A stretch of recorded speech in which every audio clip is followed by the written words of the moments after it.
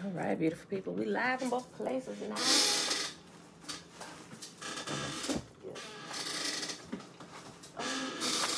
This is my pen.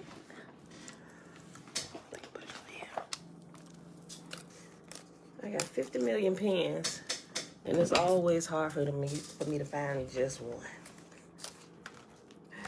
Don't Everybody need pens till I buy more pens, and everybody need pens. And I can't find pens that I bought when I need them. I tell you, you gotta love kids.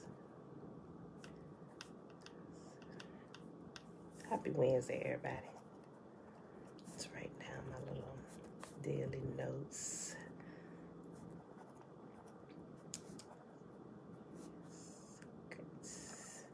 Mashiach. All right, beautiful people. It is Wednesday, November the 17th, 2021. Day 304 of year three of reading through the books of the law and the prophets. Another three year consecutive day count, day 971. You know what? That's without the Sabbath and the feast day Sabbath days added in because we well over the thousand day count, well over the thousand day count if we add those in. If we add every single day of the year in, we'd be way past the thousand day mark. But these days are just the days that we are present, not including the Sabbath days, nor the other days that we miss during my vacation, right? Um, so today, y'all, we're reading Psalm 107 to Psalm 109. Then we're going to pick up where we left off at yesterday in chapter 9. We should be able to finish up the rest of chapter 9 today. If, if not, start in chapter 10 a little bit. Just gain some, some time that we kind of, uh, I story timed away. All right, y'all, so we're to pick that back up on page 238. Mom, shalom, Levant blessings. Trina, hey girl, hey, Betwabu. Peace and blessings, Tiffany. All right, y'all, let's go ahead and get moving. Go ahead and do the Shema and get rolling. Let's see if we gain back some of our time today. So I'm just, I'm just ready to start the portion about Revelation. All right. Shema is found in Deuteronomy chapter 6, starting at verse 3. Hear, therefore, O Israel, and observe to do it, that it may be well with you, and that you may increase mightily, as Yahuwah, the mighty one of our fathers, has promised us, in a land that flows of milk and honey. Hear, O Israel, Yahuwah, our mighty one, he is one, and you shall love Yahuwah, your mighty one, with all your heart, and with all your soul, and with all your might. And these words which I command you this day shall be in your heart, and you shall teach them diligently unto your children, and shall talk of them when you sit in your house, and when you walk by the way, when you lie down, and when you rise up.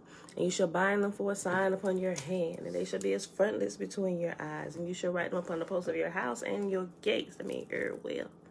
And Yahuwah commanded us to do all these statutes to fear him, Yahuwah, our mighty one for our good always, that he might preserve us alive as it is at this day. And it shall be our righteousness if we observe to do all these commandments before you, who are mighty one, as he has commanded us. All right, y'all, so let's go ahead and pull this up. Psalm 107. Oh, this print is a little bigger today. Mm, okay, let's click something. All right, y'all. Psalm 107. This actually starts book five. There are five books recorded here in this book of Psalms. Um, and these are the rest of the chapters, starting at 107 all the way to Psalm 150.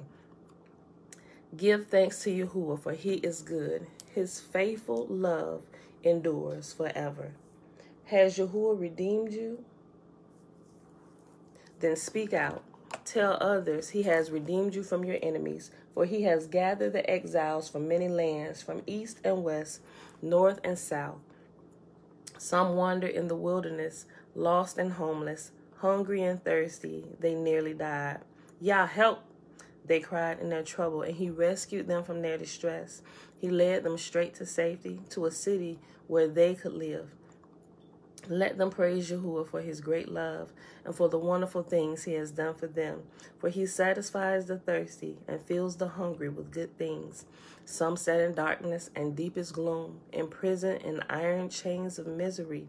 They rebelled against the words of Yah, scorning the counsel of the Most High. That is why he broke them with hard labor. They fell, and no one was there to help them. Yah, help! They cried in their trouble, and he saved them from their distress.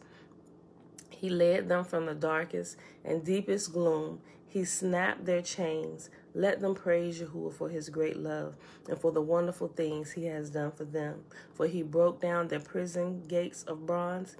He cut apart their bars of iron. Some were fools. They rebelled and suffered for their sins. They couldn't stand the thought of food, and they were knocking on death's door. Yah, help they cried in their trouble, and he saved them from their distress. He sent out his word and healed them, snatching them from the door of death. Let them praise Yahuwah for his great love and for the wonderful things he has done for them.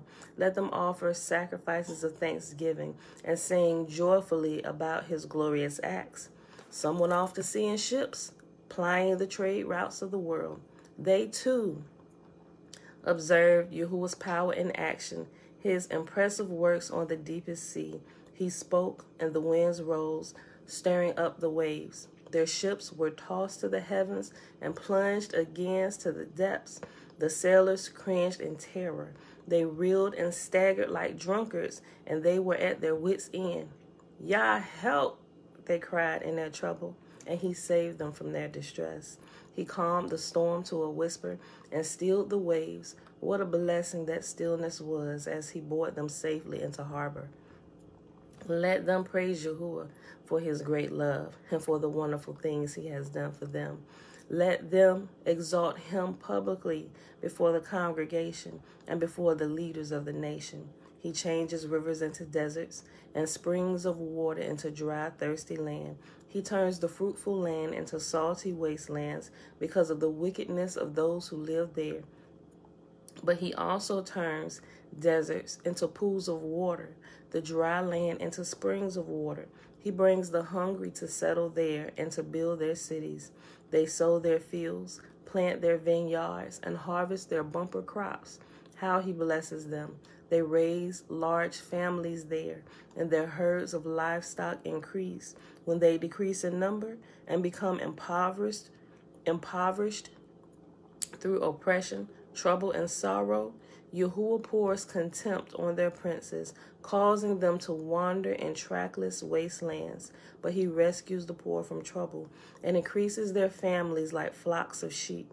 The godly will see things and be glad. I'm sorry. The godly will see these things and be glad, while the wicked are struck silent. Those who are wise will take all this to heart. They will see in our history the faithful love of Yahuwah. Hallelujah. Right? Next chapter, y'all. Psalm chapter 108. A song, a psalm of David. My heart is confident in you, O Yah. No wonder I can sing your praises with all my heart. Wake up, lyre and harp. I wake the dawn with my song. I will thank you, Yah, among all the people. I will sing your praises among the nations, for your unfailing love is higher than the heavens.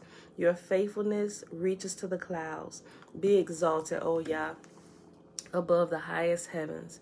May your glory shine over all the earth. Now rescue your beloved people Answer and save us by your power. Yahuwah has promised us this by his holiness. I will divide up Shechem with joy. I will measure out the valley of Sukkoth. Gilead is mine, and Manasseh too. Ephraim, my helmet, will produce my warriors, and Judah, my scepter, will produce my kings. But Moab, my wash basin, will become my servant, and I will wipe my feet on Edom and shout in triumph over Philistia. Who will bring me into the fortified city? Who will bring me victory over Edom? Have you rejected us, O Yah? Will you no longer march with our enemies? Oh, please help us against our enemies, for all human help is useless. With Yahuwah's help, we will do mighty things, for he will trample down our foes. Last chapter for the day, Psalm chapter 109. This is for the choir director, a psalm of David. O Yah, whom I praise, don't stand silent and aloof while the wicked slander me and tell lies about me. They surround me with hateful words and fight against me for no reason. I love them, but they try to destroy me with accusations, even as I am praying for them. They repay evil for good and hatred for my love. They say, Get an evil person to turn against him. Send an accuser to bring him to trial. When his case comes up for judgment, let him be pronounced guilty. Count his prayers as sins. Let his years be few. Let someone else take his position. May his children become fatherless and his wife a widow. May his children wander as beggars and be driven from their ruined homes. May creditors seize his entire estate and strangers take all he has earned. Let no one be kind to him. Let no one pity his fatherless children. May all his offspring die. May his family name be blotted out in the next generation. May Yahuwah never forget the sins of his fathers. May his mother's sin never be erased from the record. I mean, who could be that mad with you? Joy, shalom, shalom. Yahuwah is one. Yes, may the spirit of Yahuwah bless and guide us. May Yahuwah never forget the sins of his fathers. May his mother's sin never be erased from the record. May you Yahuwah always remember these sins, and may his name disappear from human memory.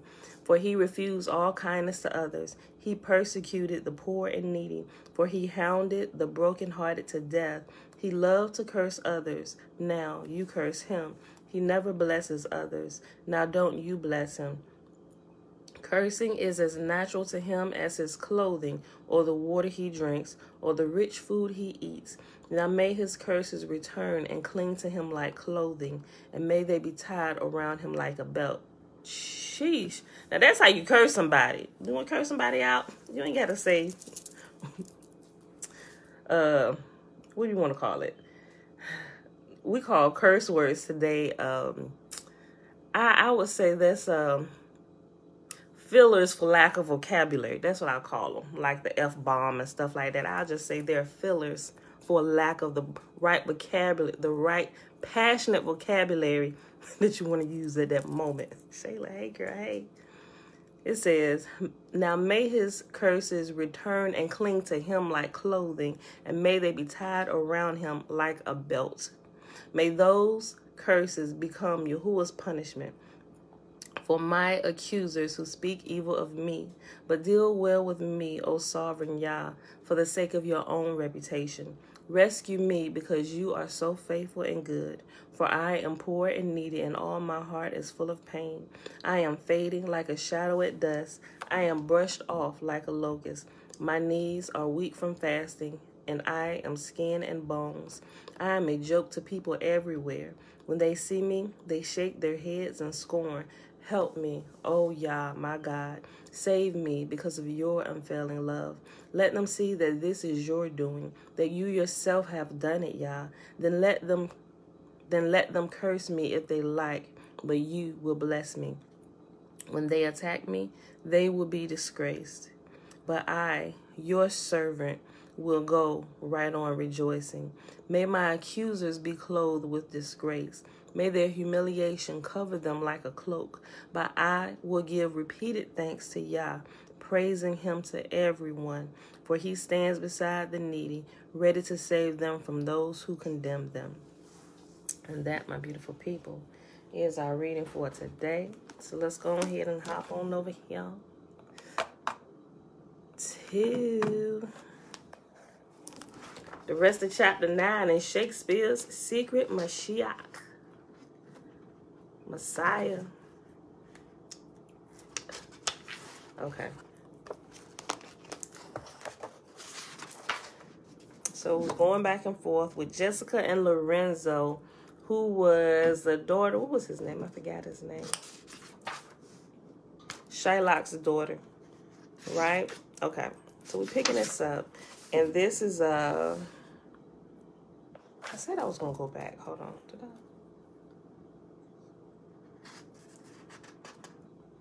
Said I was gonna go back. but I didn't mark the place I was going to go back to. Okay, let's just go. Um,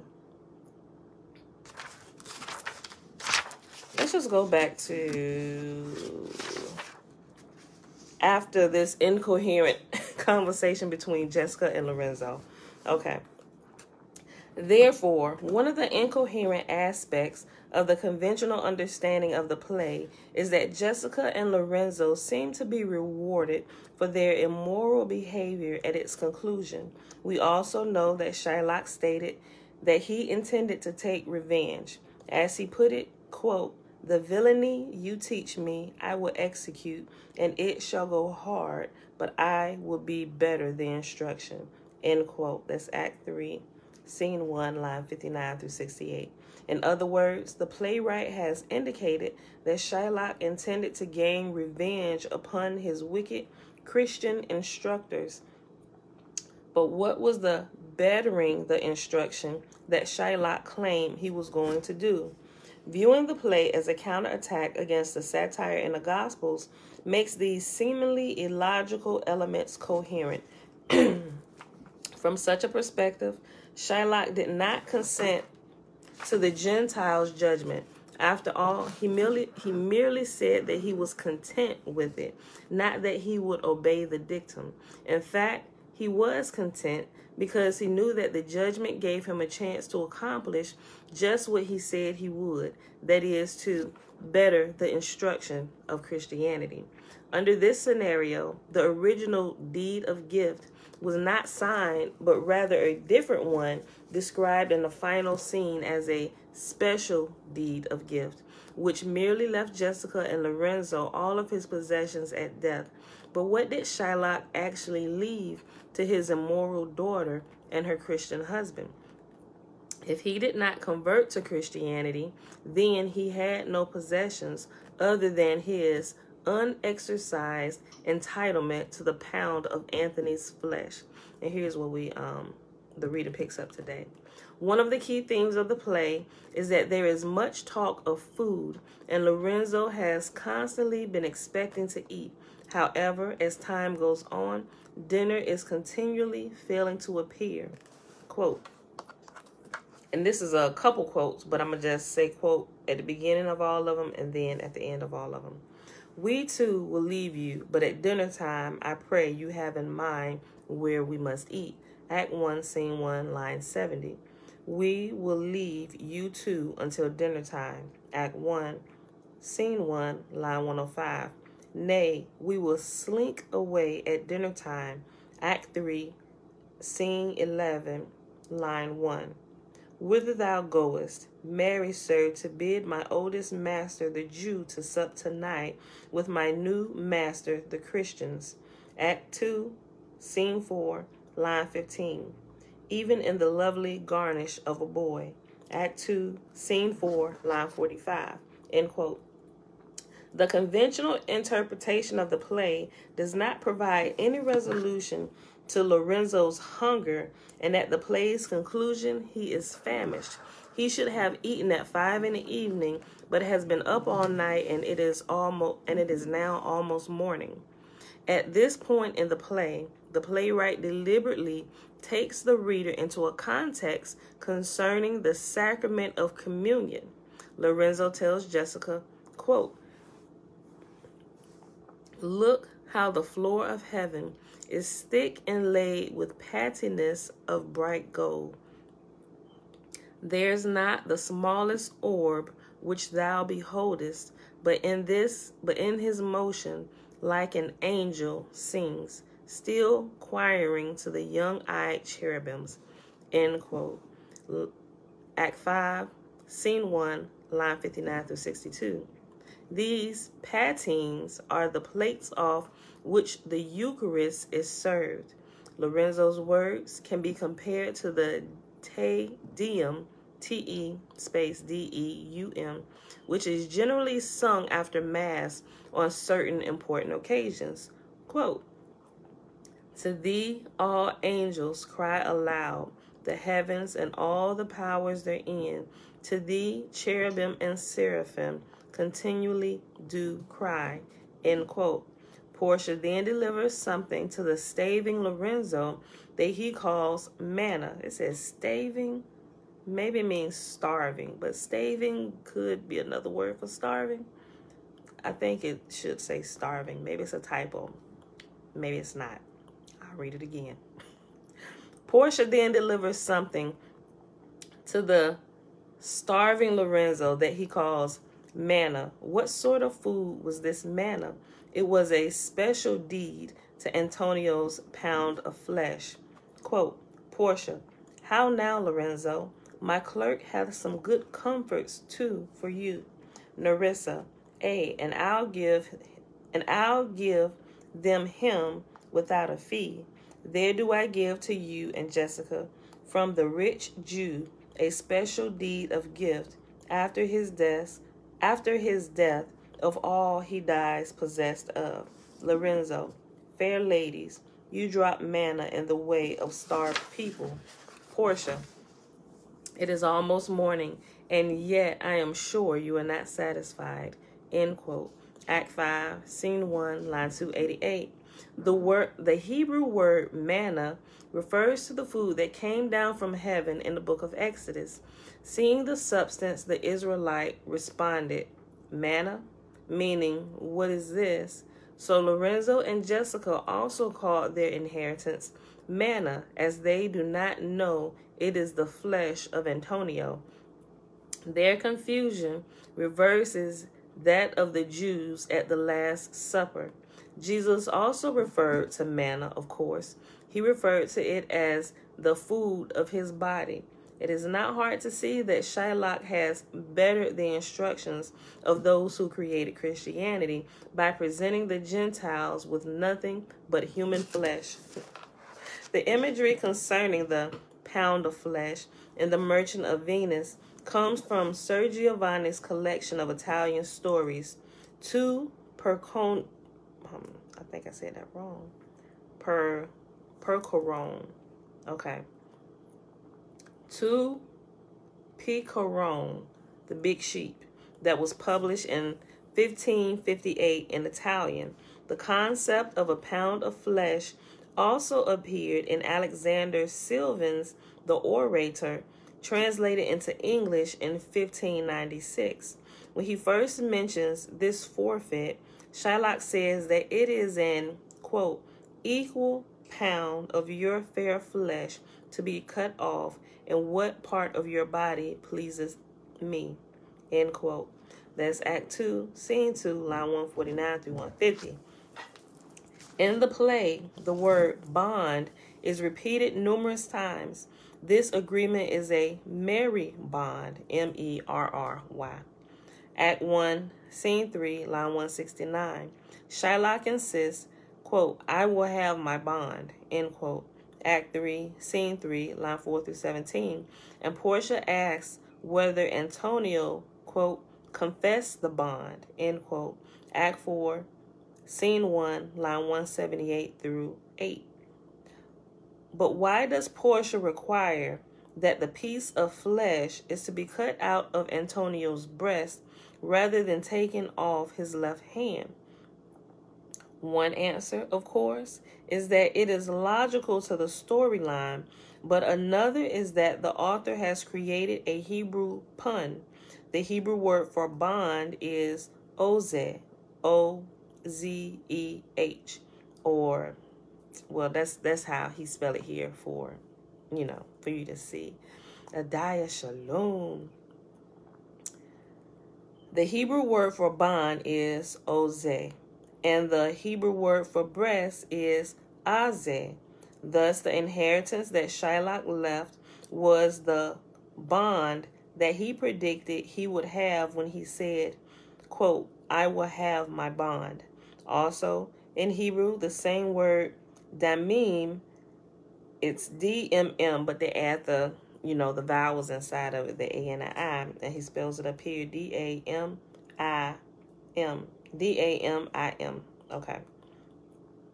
Also in Hebrew, the same word damim means both money and blood, which explains Portia's view that at the expiration of the bond, Shylock is entitled to take neither money nor blood from Anthony, but only flesh. And that's reference 91 in the back. Shylock's name is also part of the playwright's satirical system. It is a play on Shiloh, Genesis 49 and 10, a Hebrew word meaning the Messiah. The play reverses the Gospel's satire, whereby Jews unwittingly eat the flesh of the Jewish Messiah and cause that and causes that fate to fall. Hold reading too fast. Let me go back. It is a play on Shiloh, Genesis 49 and 10, a Hebrew word meaning the Messiah. The play reverses the Gospel's satire, whereby Jews unwittingly eat the flesh of the Jewish Messiah and causes that fate to fall instead upon Gentiles and Jews who convert to Christianity. The author has used her understanding that the sacrament of communion is a cannibal feast to create a parody that will be visible to those that know the real nature of Christianity. Clear, we found that out shortly after we began to read the Torah over and over a few times, right? That was one of the first things I began to take issue with. I'm like, um.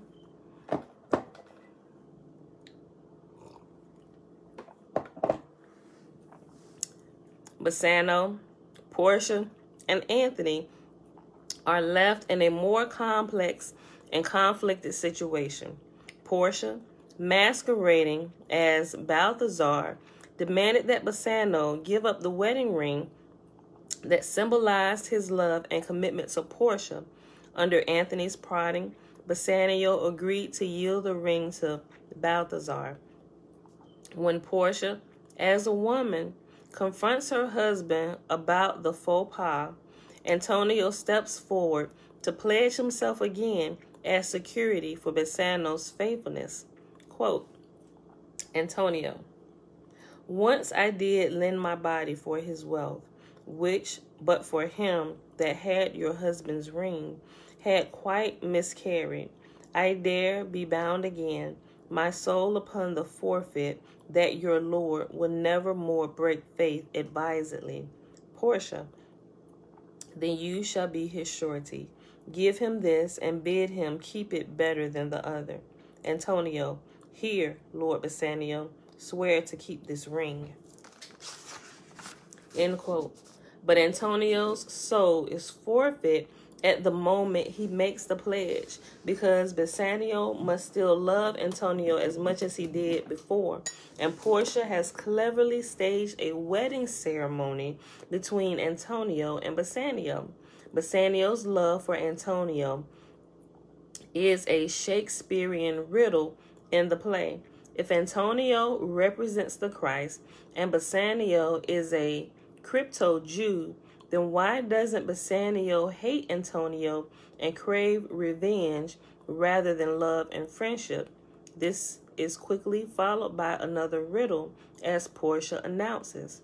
Quote, Portia, Antonio, you are welcome, and I have better news in store for you than you expect. Unseal this letter soon. There you shall find three of your argosies are richly come to harbor suddenly. You shall not know by what strange accident I chanced on this letter. Antonio, I am dumb. End quote. How have Anthony's argosies come safely ashore, and where did Portia get this information? Within the Flavian comic system, one sputters to come up with a solution based on Anthony's loss of his soul as well as his pound of flesh.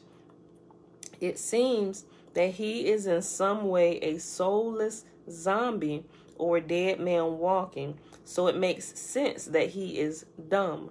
How are we to explain Bassanio's love for such an empty shell?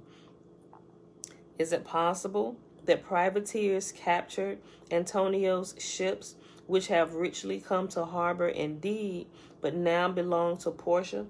Queen Elizabeth was notorious for funding her government with proceeds from pirate raids. Does Anthony represent the Anglican Church, now safely domesticated, purged of all vitrolic Flavian baggage, and ready at the Queen's service? I will leave it to the reader to decide whether these solutions to Shakespeare's riddles are adequate or, or whether the enigmas remain unsolved. The deeper structure of the play shows that far from being anti Semitic, The Merchant of Venice is completely pro Jewish. The playwright created an anti Semitic surface narration that would have appealed to the audiences of Elizabethan England, but contained a subtext whose perspective was just the opposite. This is especially clear in Shylock's famous monologue concerning how Gentiles have treated Jews. The speech is the real voice of Amelia Bassano trying to use empathy to elevate humankind to a more humane treatment of one another. Quote, He hath disgraced me and hindered me half a million, laughed at my losses, mocked at my gains, scorned my nation, thwarted my bargains, cooled my friends, heated mine enemies. And what's his reason? I am a Jew. Hath not a Jew eyes? Have not a Jew hands, organs, dimensions, senses, affections, passions, fed with the same food, hurt with the same weapons, subject to the same diseases, healed by the same means, warmed and cooled by the same winter and summer as the Christian is? If you prick us, do we not bleed? If you tickle us, do we not laugh? If you poison us, do we not die? And if you wrong us, shall we not revenge? If we are like you in the rest, we will resemble you in that. If a Jew wrong a Christian, what is his humility? Revenge? If a Christian wrong a Jew, what should his sufferance be by Christian example? Why revenge? The villainy you teach me, I will execute, and it shall go hard, but I will better the instruction.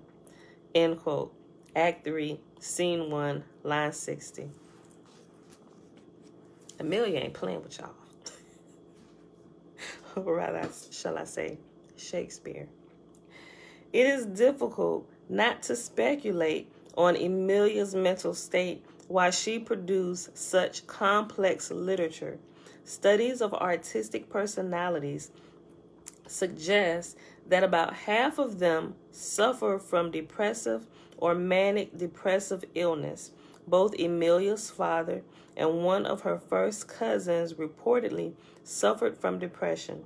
This is notable because blood because blood relatives of those suffering from psychic ab, ab I'm sorry abnormality are much more likely to suffer from manic depressive illness by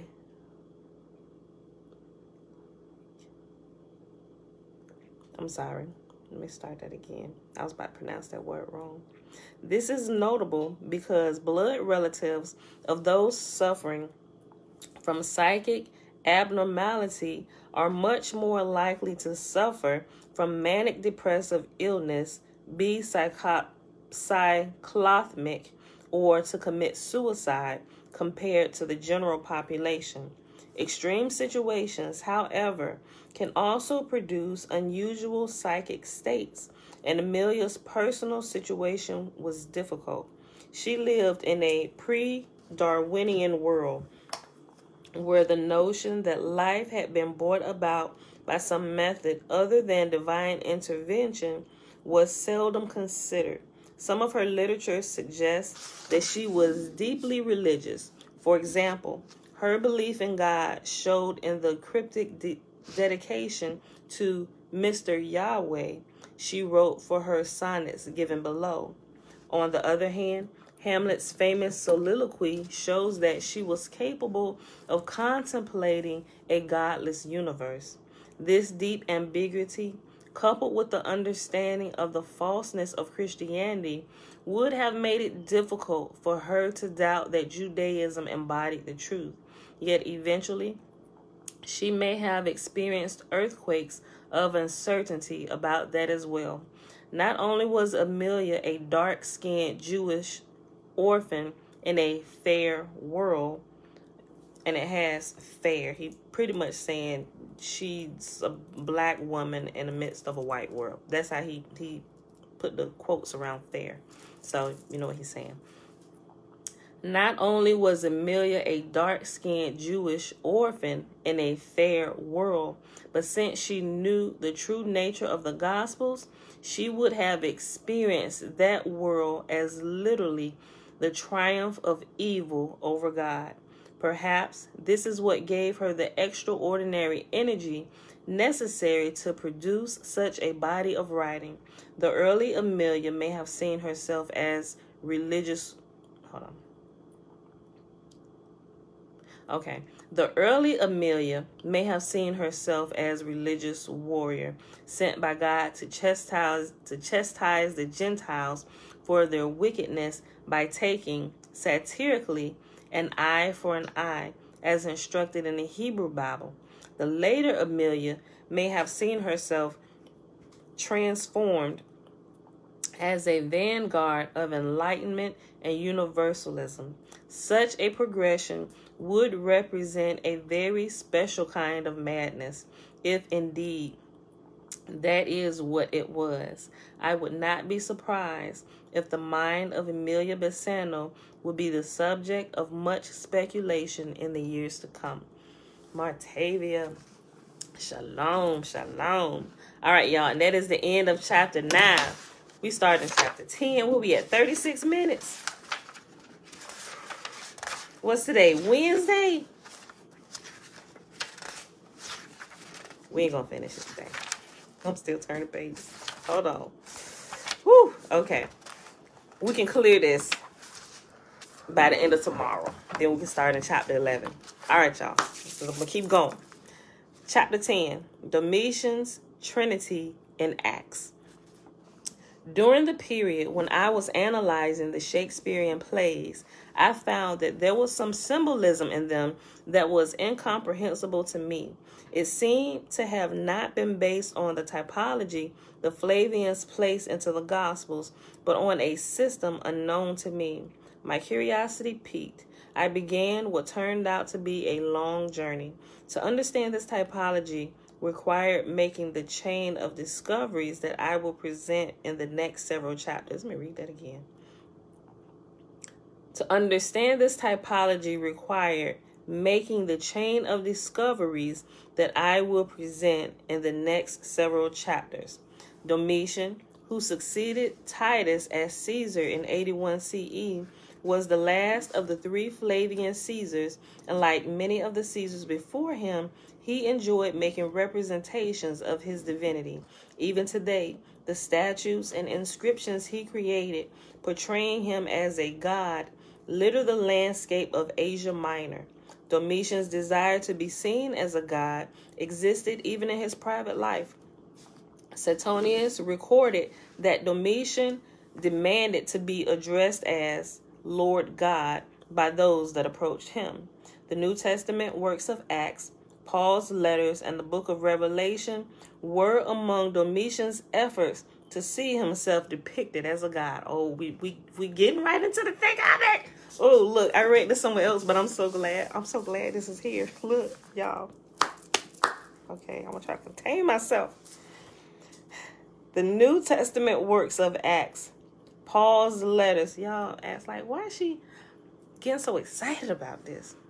I am so excited about revealing truth, right? And I like to take my time. It's like you got to see the buildup of the story and how you were taken, right? How you were mentally taken and taken through loops and hoops, right? And a lot of people is like you can't reconcile all of this with the spiritual and supernatural things you have experienced, right? I'm telling you. They are separate things and can happen with anybody, anywhere. Anybody can tap into the realm of the unseen. Your faith, if you believe in something so much, you will begin to have results from it, right? You don't necessarily have to be a Christian to experience a, a miracle from God, so to speak, right?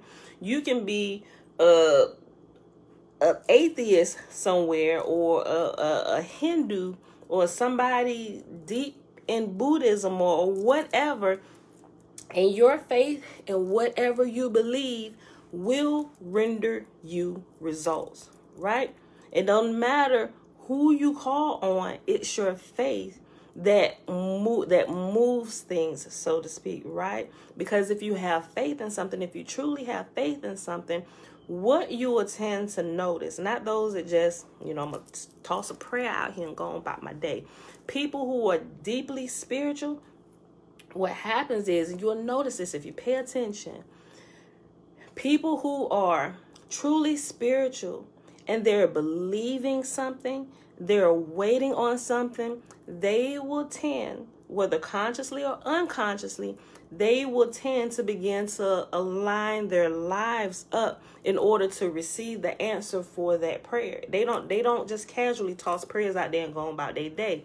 They will pray prayers and they will begin watching for opportunities or looking for things or if they need to take an action they'll begin taking the action.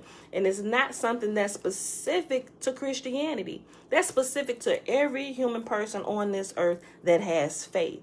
It's it's an unseen law that happens for any and everybody. That's why you can hear people from different backgrounds, ethnicities, religions say that they experience things, at least those who are deeply spiritual, they experience things because they're operating on the same principle that they don't realize that Yahuwah has made universal, right? They just kind of lump things and throw it over into different places like it's specific just to this group of people. And it's absolutely not, right? Look, okay, okay, let me keep going. The New Testament works of Acts, Paul's letters, and the book of Revelation were among Domitian's efforts to see himself depicted as a god. These works were designed to map onto Suetonius's history of Domitian's life using typological parallels in the same way that the Gospels were mapped onto Josephus's history of Titus's military campaign. Many scholars believe that the Gospel of John was created after the Synoptic Gospels. I concur with this judgment and will show that this Gospel was written or at least heavily redacted during the reign of Domitian. The section of the typology that Domitian controlled is difficult to understand because it was intended to transcend Titus's typology. In the same way, in the same way that Titus had morphed his typology onto the Jewish messianic prophecies to show that he was the Christ that scripture predicted, Domitian built his typology on top of his brothers. In other words, by winning a petty literary game of Christ typology one upmanship, Domitian intended to show posterity that it was he, not his dead brother, who was the final Christ whom Christians have unknowingly worshipped. Surprises are always possible for those who try to make themselves immortal gods, of course, and Domitian suffered a complete reversal of both his role as Caesar and the literary legacy he tried to create. Domitian was assassinated in 96 CE at age 45, and the Senate passed damnatio memoriae against him. That's D A M N A T I O M E M O R I A E.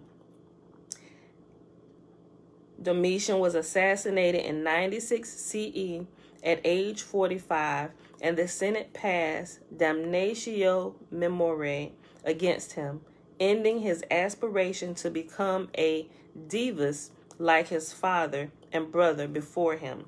Domitian's assassination may be related to his executions of his secretary Epaphroditus and the consul Titus Flavius Clemens and the exile of Flavia Domitilla. These characters were all notable for their possible affiliation with early Christianity. And Epaphroditus was mentioned in Philippians chapter 2, verse 25, and Philippians chapter 4, verse 18, as a companion of Apostle Paul, and Josephus's Antiquities of the Jews was also dedicated to an Epaphroditus, and if indeed these were all the same person. And as shown in Caesar's Messiah, Titus Flavius Clemens was identified in early church literature as the first Roman pope after Peter himself. What? Y'all see? That's my morning squirrel. Y'all can't see him, but now he climbing on the window. Okay. I'm like, what in the world? Okay. He normally just comes sit on the ledge. I don't know that he can hear me or she. I don't know if it's a male or female squirrel. But anyway, this squirrel, I don't always call it out. But this squirrel, every morning when I'm sitting here reading, he come and sit right here on the ledge. And he'll walk back and forth. Sometimes he'll come over here, although y'all can't see it. Now he decided to climb up. I don't know. Maybe he's trying to get in. He want to get a, a closer listen. I don't know. Okay. Where'd I stop at? Oh, okay. And as shown in Caesar's Messiah, Titus Flavius Clemens was identified in early church literature as the first Roman pope after Peter himself, as well as the author of the Epistle of Clement and the propagandist of the Pseudo Clementine recognitions and homilies. However, this Titus Flavius Clemens is not to be confused with a theologian Titus Flavius, Titus Flavius Clemens, also known as Clement of Alexandria, mentioned below. He do. He be trying to hear the word, Robert. Domitian's reign ended in a palace coup. According to Suetonius, the conspiracy was headed by Domitian's chamberlain Parthenius, an associate of Epaphroditus, and by a steward of Flavia Domitilla, the wife of the executed consul. Domitian's irrationality was increasingly seen as the real problem, and perhaps cooler, more bureaucratic minds prevailed. Ultimately, a provincial military operative by Trajan emerged, apparently with the backing of the powerful Piso family, and Christianity was sent in yet another direction. Trajan's victory will be the topic of the third volume in Caesar's Messiah trilogy. It's going to be another book. Look, hopefully, like I said the last time, when, right when we was getting done with Caesar's Messiah, I was like, y'all, I don't know what we're reading next. Out he talked about this other book, but I can't find it. And then like a couple days, of, not a couple, maybe like four days before we literally ended Caesar's Messiah, I found it. And I was looking in the wrong place because in Caesar's Messiah, he gave it a title that they actually changed. And they changed it to Shakespeare's Secret Messiah. So hopefully, when was this wrote? Hold on. Oh, y'all. This was followed up, written in um 2014. So we're in 2021. Brother had some time to pull this third book together, right? So I'm hoping I'm gonna start looking for it, right? He called this Caesar's Messiah trilogy. This is the second book. So hopefully, y'all, he done with the third one. I didn't even realize it would be a third one to just now. So I'm gonna start looking for it. I'm gonna start looking for it. Um, okay, look, they it might it, it could be done, but it may not be this title. Listen to what he said. Trajan's victory will be the topic of the third volume in the Caesar's Messiah trilogy, which is now being prepared under the working title Spiritual Bizarre Wars and a Jewish a Jewess strikes back. Okay. So if y'all got that, somebody try and look it up. I'll look it up but it said under the working title. So you may not be able to find it. It could be like this where they gave it a, a working title, putting it together, but they actually changed it, which why it took me so long to find it. So um, we'll see. Hopefully they finish with it and I'll be able to pick it out. I'm gonna just look for Caesar's Messiah trilogy. You know, okay. Look, let me just. I'm excited. Let me go back. Trajan's victory will be the topic of the third volume in Caesar's Messiah trilogy, which is now being prepared under the working title Spiritual Bizarre Wars and A Jewess Strikes Back. This third volume will be forthcoming soon, and anyone who follows me to the end of this journey will be rewarded with buried golden treasure. Or at any rate, I will be I will be providing a map. I need all the maps. We need everything we can, right? We need everything we can get our hands on to help us unscramble this puzzle we've been thrown into, right? When we landed on this earth. Meanwhile, Domitian's reign started smoothly enough. After gaining the throne, he began to add onto the Gospels that his brother Titus created. Domitian either expanded or introduced the bizarre character of the Holy Spirit, thereby creating the Trinity, the zany Christian concept of a Godhead somehow shared by three individuals. Remember, I think it was yesterday, right? How I said that that seemed odd to me. When I was saying the Holy Spirit, I used to think it was this third person, which is exactly how Christianity teaches it to you. But in my ignorance, I was still referring, I was talking to Yah, but I was still referring to him as this third person, which is why he said, Look, it's me. It's always been me, right? At least who I've been talking to, right? Okay, so but they about to break this down, y'all. That's why I said, although it may not necessarily be wrong if you if you're ignorant. I can't say not wrong, right? Um, if you're ignorant, you who would know that you ignorant and you you talking to him, but you calling him by another name. It's like you ignorant, like my name Pam, right? I don't know how you get Patricia out of Pam. Some people, oh Patricia, and just just be talking to me like they so right, and I'm like Patricia, Patricia, who she? But she's staring at me, talking. Mm-hmm, I'm listening. Like I hope she's is she talking to me? Look, oh, I'm on the. Now I just bust out sometime. What you call me? Did you call me Patricia? My name is not Patricia. And they pause like, oh snap, my name is Pam. I don't know how you got Patricia out of Pamela, but maybe the P and the A at the end of both of them. I don't know. You got some, you like got lost in translation somewhere between the P and the A at the end, but it's not Patricia. It's Pamela. Um, sort of kind of like the same thing, maybe, right? So that's why I said I stopped using those. I call them extracurricular terms now, or extracurricular names, or I, that's why I just refer to Yahuwah as Yahuwah. Yahuwah. Call if I'm calling them by name, I ain't like Yahoo. Yeah, all these other different names people coming up with. And I can, I can see the theory and the logic in some of what they're saying, but it, it gets confusing, especially to people who are just really trying to get a grip on what's going on. Like, wait a minute, it's too much.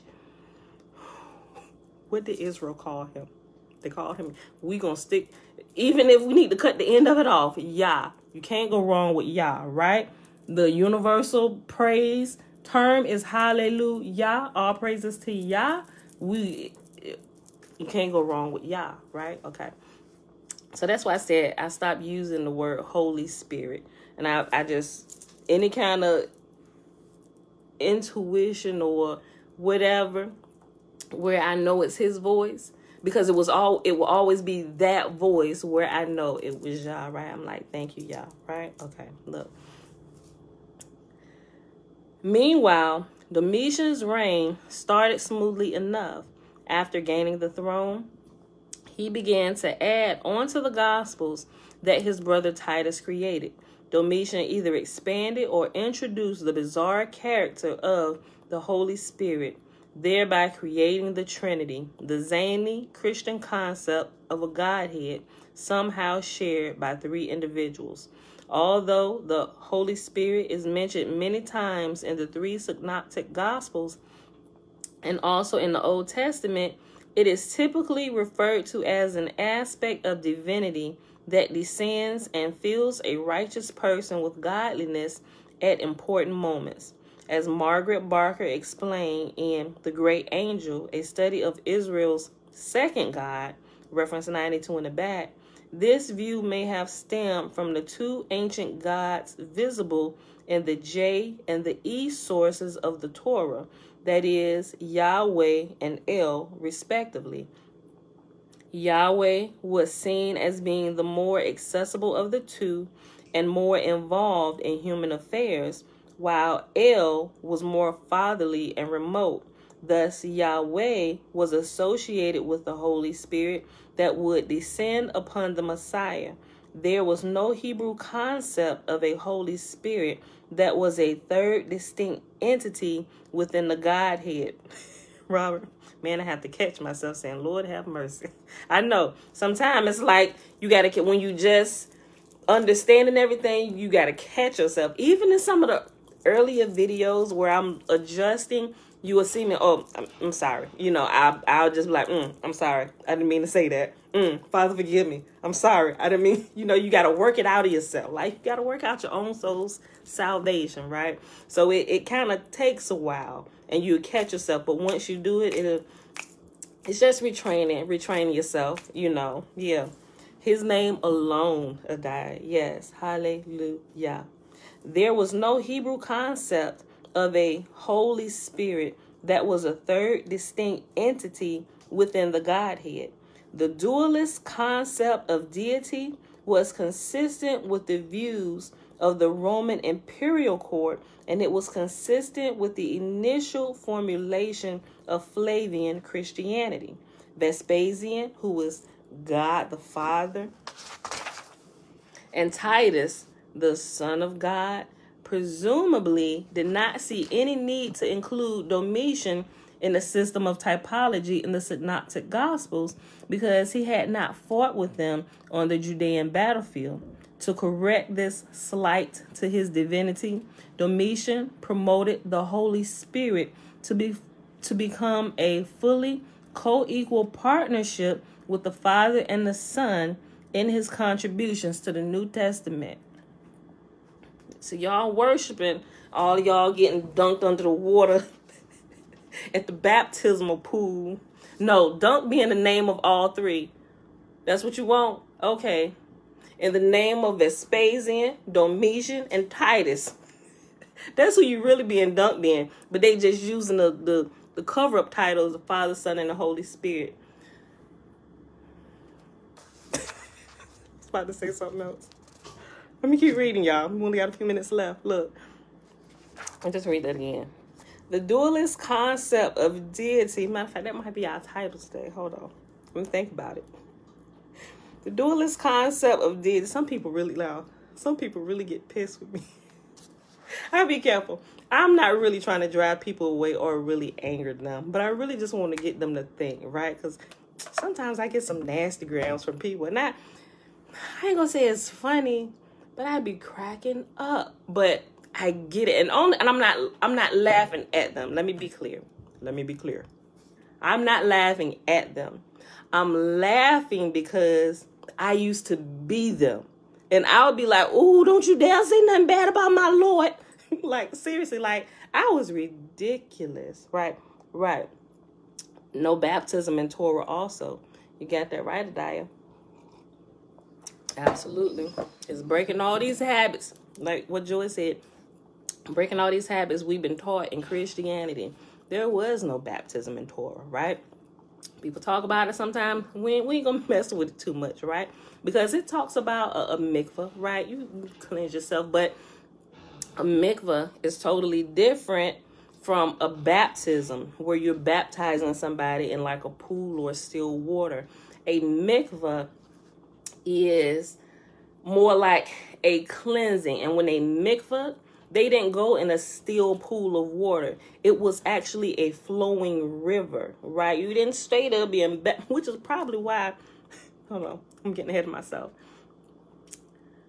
They didn't dunk people in a pool of still water, right? Um, like you heard the saying, you go down the devil and you come back up a wet devil. Right, because it's that you just in your pool of filth, right? But just you know, think about it. But a mikvah is standing in a flowing river as they wash themselves or cleanse themselves, so that whatever was on them is is passing away. It's going up the river. It's not standing there. They're not. It's not like this dirty soup that you're standing in. in name of the Father, Son, and the Holy Spirit. You need to be dunked again.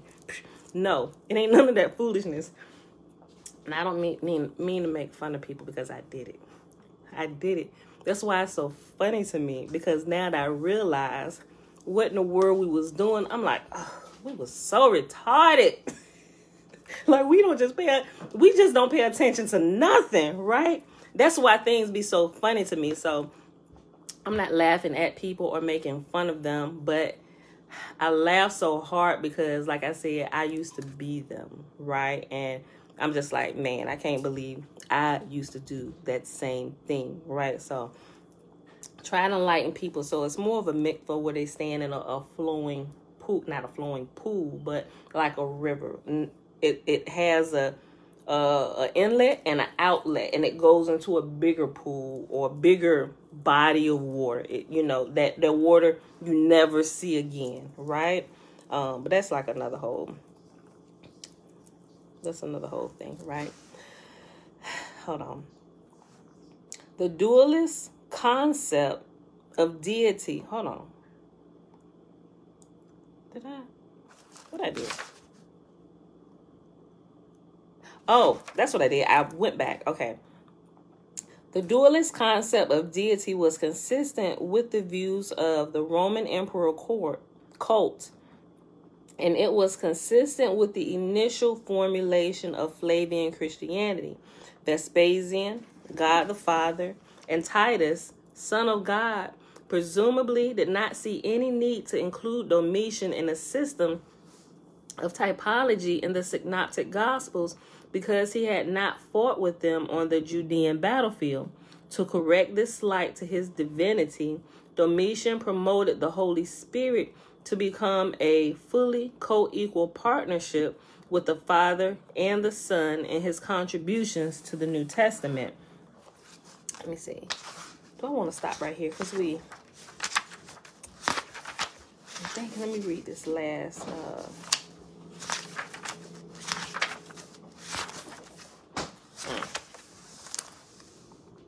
Let me read this last little paragraph. A clearly Trinitarian formulation only occurs in the synoptic gospels of Matthew 28, verse 19. Quote, Therefore, go and make disciples of all nations, baptizing them in the name of the Father, and of the Son, and of the Holy Spirit, which many scholars believes was a late interpolation in a few other passages in the synoptic gospels Jesus refers to the Holy Spirit as a distinct entity from the Son of Man, but the use of this latter term is arguably enigmatic. The view of the Holy Spirit as an equal member of the Trinity becomes clearer in the Gospel of John and is fully developed in Revelation and the epistles of Paul. It is interesting to note that the spirit that is Pneuma, P N E U M A. I'm sorry, I said Pneuma. Pneuma. Yeah, Pneuma, I think, was also a technical term of the imperial cult that was used to describe the spirit of the emperor that existed within his statues reference 93. One interesting example of Domitian's typology is the Doubting Thomas story, which requires that the reader already possess many facts necessary, excuse me, to understand the story's subtle linkages to the history of the Roman legions. First, one must recognize that Gemini is a Greek word, like Didymos, for twin, which is also the meaning of the Hebrew name Thomas. Moreover, The reader must also be aware that the legion XIV Roman numeral, what is that? Uh 15? No, no, I'm sorry. The X is 10 14. I think that's 14. I think. Moreover, the reader must also be aware that the Legion 14 or XIV Gemina did not back Vespasian in his effort to seize the throne, and thus it became an actual historical basis for the concept of a doubting Thomas. Following Vespasian's ascension, the legion was renamed as 14, if that's what their Roman numeral is, XIV, Flavia Firma, in order to obliterate the memory of their disloyalty. In other words, the doubting twin was called by a different name. It was, although the doubting twin was called by a different name, it was still the same legion. This same legion was used in Domitian's campaign against the Moesians. Thus, John's gospel story can be read as an allegory in which Legion 14, the doubting Thomas, is testing Domitian's mettle as the living the living Flavian God. And this time he wins their acceptance. Quote Now Thomas, called the twin Didymus, one of the twelve, was not with them when Jesus came. The other disciples therefore said to him, We have seen the Lord. So he said to them, Unless I see his hands, the imprint of the nails, and put my finger into the print of the nails, and put my hand into his side, I will not believe. And after eight days, his disciples were again inside, and Thomas with them. Jesus came, the doors being shut, and stood in the midst and said, Peace to you. Then he said to Thomas, Reach your finger in here and look at my hands, and reach your hand here and put it into my side. Do not be unbelieving, but believing. And Thomas answered and said to him, My Lord and my God. How many sermons have been made on doubting Thomas? Boy, we so retarded. and Thomas answered and said to him, My Lord and my God. Jesus said to him, Thomas, because you have seen me, you have believed. Blessed are those who have not seen and yet have believed. End quote. And it's John chapter 20, verses 25 through 29. The Greek word describing imprint was tupos, meaning type, that is, a person or thing prefiguring the future. The typology is quite oblique, and the reader must be reading the gospel story, looking for connections to Domitian and Vespasian to recognize it. However, if this analysis is correct, Domitian must have been the one who added the story of doubting Thomas to the Gospels, as his military victory seemed to be its focus. Thus, by tracing the typology, it is possible to see the sequence of the writing of the four Gospels. In other words, the synoptics were created first under Vespasian and Titus, while Domitian added the Gospel of John during his reign. Only those who had already grasped the Jesus Titus typology can understand Domitian's typology concerning the number three. Domitian built his typology upon his brothers for a reason.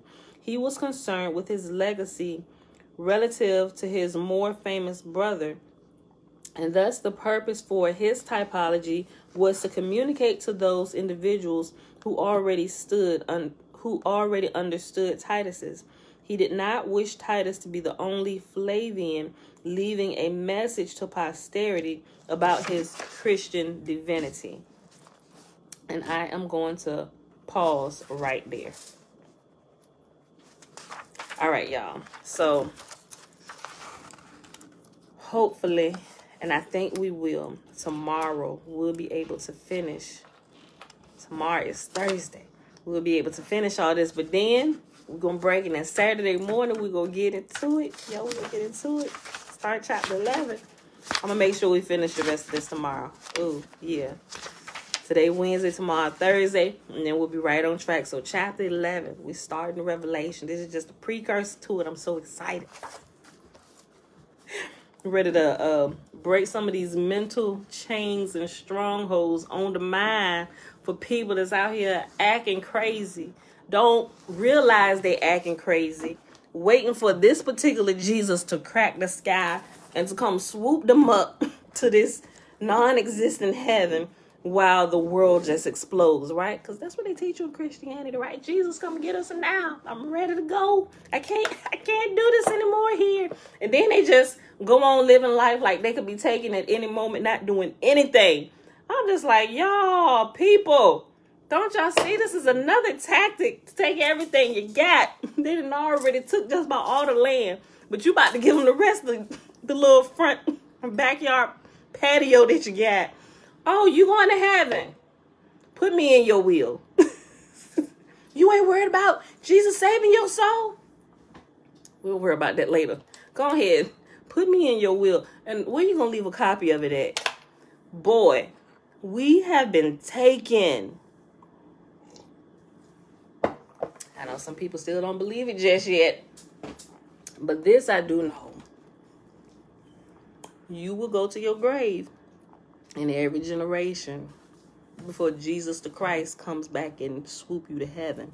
Now that seems like the ultimate blasphemy to Christian ears. And I'm going to probably lose a couple more subscribers today. it never fails because I be keeping track of the subscribers, right? I don't really care, but it, it tells me I, I, I like to look for trends, right? Um, I look for trends. And when I say something like that, people who haven't been tuning in every day and they come back, oh, she did a video, let me watch it today. But they done missed the last 40, right? They'll put it on just to verify that I'm a heretic. Yeah, I knew it. Unsubscribe, right? Then they unsubscribe, then it'll it'll it'll go up a couple more over the next few days. I'm like, I'm fine. But it, it, it teaches me that people some people are not ready for the truth right? Some people choose to. Fairy tale land is more comfortable to some people, and I understand it. I, I get that, right? I mean, but you can't live in La La Land all your life, right? I'm just I'm, I'm gonna leave people alone. Slow show. I'm gonna leave them alone today. I'm gonna leave them alone. I'm gonna leave them alone. All right, y'all. But if you come in here, you just know what you're coming for. Like, you came to my house. This was going on in my house. If you don't like what's going on, get out. Right? Don't come here starting trouble, calling me names, trying to curse me out and stuff because I don't believe in your Jesus and you trying to save my soul. Oh, this one, this one that I don't know if she's still a, if she still watch me on the slide. I mentioned this before. I think I forget which video it's on. But she she told me off and told me that if I didn't repent, I was gonna I was gonna burn in the fiery pits of hell. And she I thought you was a sister. I gotta let everybody know you are of the devil. I'm like, like, like it's a long paragraph that she wrote telling me off and that if I did not come back to Jesus, that I would pretty much live with Satan for the rest of my life. I'm just like, Father, forgive them, for they know not what they do. Boy, it is November the 17th, 2021. Day 304 of year three of reading through the books of the law and the prophets. Day 900, hold on, of the three consecutive day count Day 972. We read Psalm 107 through 109. And then we read the rest of chapter 9 in Shakespeare's Secret Messiah, starting on page 238. And we paused in chapter 10 on page, I think it was 250. Yeah, two at the top of page 250. Okay. All right, y'all. So we're going to pick up with the rest of this chapter and read all the rest of it tomorrow right? That way, go ahead, take a break, pull yourself together, and get ready for the shock of your life Those that been here, it ain't too much of a. It's just like, go ahead. Give it to me. I'm ready. I may not be ready, but I'm ready. Come on. it don't get no better than this. That's what I need. I need the truth. Just keep going. Go ahead. Don't worry about my feelings. Just give it to me. Just you ain't got to worry about how you gonna say it. Just give it to me. Let me sort that out. But let me hear all the truth. Right? You get prepared for that.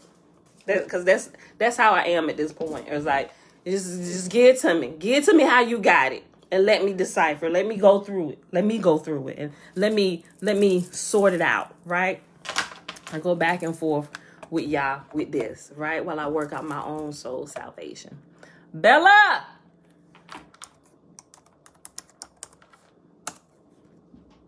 There she go. Y'all hear running? She loves this part of the day. Tootie baby.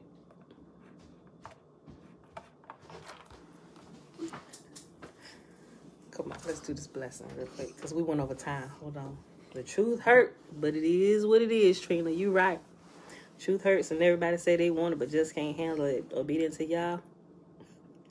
Hold on. Adia said their JC are the elites that's trying to make their homes on Mars, thinking they escaped the mess they caused here on Earth.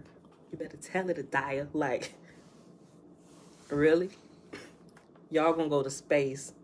Yahuwah said, even if you make the bunkers, if, if you read the Old Testament, he said, even if you go down to the depths of the earth, I'm gonna find you there. And I'm gonna pull you up out the ground. I kind of, you know, ad lib that a little bit. But you know, try and go up to the sky, we gonna get you up there too. Cause I said higher than all of this. And I can see everything. They are, they trying to escape. Look. Hardhead, I agree that my family still get mad at me when I, I agree. My family still get mad at me when I tell them his name ain't Jesus still. Oh boy, that, you want to get into a fight with a Christian? That's all you gotta say. Look, honey, that video was too funny. When I clicked that button yesterday, I only clicked it because I'm nosy. and that's why I did it, Trina. Look, I was gonna delete the button, but keeping with the theme that sometimes I play too much. I left the button there on the. She talking about uh look. Trina talking about the website that I set up, right? I'm getting everything in place so I can own all my content just in case one day YouTube said we don't like you no more. Get out of here, right? So I'm even working on setting up a live streaming from the website just in case social media don't work out for me in the future, right? Hopefully it's it's a, it's a good free avenue that we can use, and we're gonna utilize it till we can't utilize it no more. But I am preparing on the back end for when social media say, "Pam, you gotta go. We didn't left you up here too long, waking too many people up, and uh, it's affecting our pockets." So I'm preparing for that now. So, but she talking about the website. If you go to the website, y'all, it's up. Um, if you go down towards the bottom where it says donations, y'all know how we feel about donations, right? We just don't take them. And I explained that there. And right there, I left, you know how on websites or ministry, people leave a button and um it says click here to donate or to just say donate. I left the button there and I linked it to a video. Robert, you said just nosy. And I put up there instead of donation, I removed the word donation and I replaced it in all capital letters with an exclamation point and it said this button doesn't work. So I knew some people would click the button anyway. So I linked the button to a video and I'm like, well, hey there. Thank you for coming to the web page. Didn't I just tell you that this button didn't work? You can't give donations, people. so that's what that says. That's what she's talking about. Trina, the button says do not click. so so that's there. So check out the website, y'all. Give me some feedback. Oh, and if you don't quite understand how to pronounce the name, it actually says ministry, right? I was telling my mama, I was like, I don't know what to name this or to add on the end of awaken to the truth to you know how people can say oh is this uh, an organization so i was thinking of a word and i really didn't want to use anything that would connect me with the church, right? Like I, I am not that. If you think you coming here to hear about Jesus, we not that, right? So I was like, we ain't using ministry, we ain't using like all these other things. So I'm thinking of all kind of synonyms for the word ministry, and I couldn't find anything. I was gonna put like awaken to truth bureau, but bureau meaning you would have to have at least three or more. So can't be a bureau. What about administration? I'm really the only administrator behind you. Nah, no. What about awaken the truth of leadership? Nah, we they don't really sound. It don't really have a you know. But I, I it kept ministry. Just I'm like, ugh. I was like, I hate everything about that word. but then I was sitting there, literally, literally for an hour, going back and forth on whether to add ministry to it or not, just for the sheer fact that I despise religious dogma, right? I, I despise it. And I didn't want to have any words on the website that that connects me with shenanigans. I'm all about exposing the shenanigans, right? So I'm like, oh, I don't know. I don't want to use this word. I really don't. So, but then I was looking at I was staring at the definition of it. And you know how it gives you pronunciations of words? That's what that says. So if you're like, is that ministry? No, it actually says ministry, but I'm just using the dictionary spelling of ministry. It makes me feel better because when people look at it, it's gonna get their attention. To whereas if they look at the regular spelling of ministry, oh, this got something to do with church, you know, they they just you know. But if I I did an upside down letter, you know, kind of represents we be foolish over here a little bit, you know, like what what what does this word say? Oh, it's ministry. But by this time, we trying to figure out where they say mind strong men what you didn't click on it to see what's going on and you kind of see the shenanigans and uh busting out the church right so i just wanted to say that about the name you know so i like to be fun and do fun stuff. But um, if you go there, that's what that says. Bella, what are you doing? What? Are you just gonna drink the whole glass of creamer? Let's do more. You gonna drink that's like it's an almond milk. You realize that's the creamer, right? And that's not even a sweet cream creamer. Did you, did you taste that? Gary just wasted half my bottle of my oat milk creamer. Look. All right, but anyway, that's enough. That's enough. Big Will Warrior.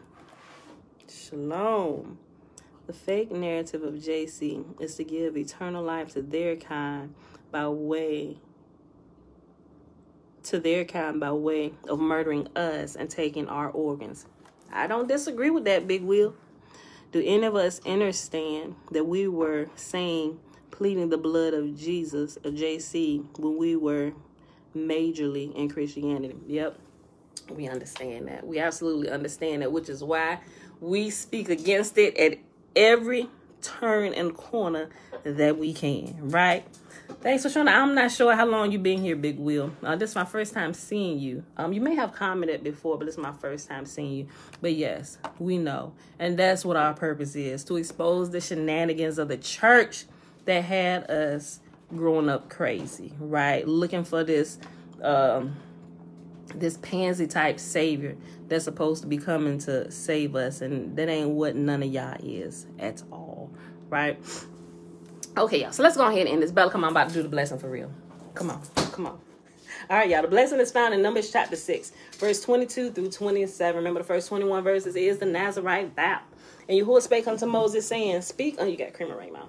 Speak unto Aaron, I'm sorry, speak unto Aaron and unto his son, saying on this wise, Ye shall bless the children of Israel, saying unto them, Yahuwah will kneel before us, presenting gifts, and will guard us with a hedge of protection. Yahuwah will illuminate the wholeness of his being towards us, bringing order, and he will provide us with love, sustenance, and friendship. Yahuwah will lift up the wholeness of his being and look down upon us, and he will set in place all we need to be whole and complete. And they shall put my name upon the children of Israel, and I will bless them. And if you're not familiar with that version, that's a more accurate rendering of Numbers chapter 6, verses 22 through 27, where you're most likely familiar with hearing is this version from the KJV. This is essentially what we're saying, but we're doing it the way it should be said. But this is how you hear it from the KJV. And Yahuwah spake unto Moses, saying, Speak unto Aaron and unto his son, saying, On this wise ye shall bless the children of Israel, saying unto them, Yahuwah bless us and keep us. Yahuwah make his face to shine upon us and be gracious unto us. Yahuwah lift up his countenance upon us and give us peace. And they shall put my name upon the children of Israel, and I will bless them. All right, beautiful people. That's it. We out of here. I love y'all. I will see y'all back here tomorrow morning, bright and early, 7 15 a.m. to read the rest of chapter 10. So Saturday, we can get into chapter 11. Start breaking down Revelation. She okay? She normally perky. She quiet today. Yeah, she fine. She mad that I said something to her about uh uh about my coffee creamer. She mad that I said something to her about it. She wanted to do what she wanted to do, but she mad I called her out on it. Ain't that right?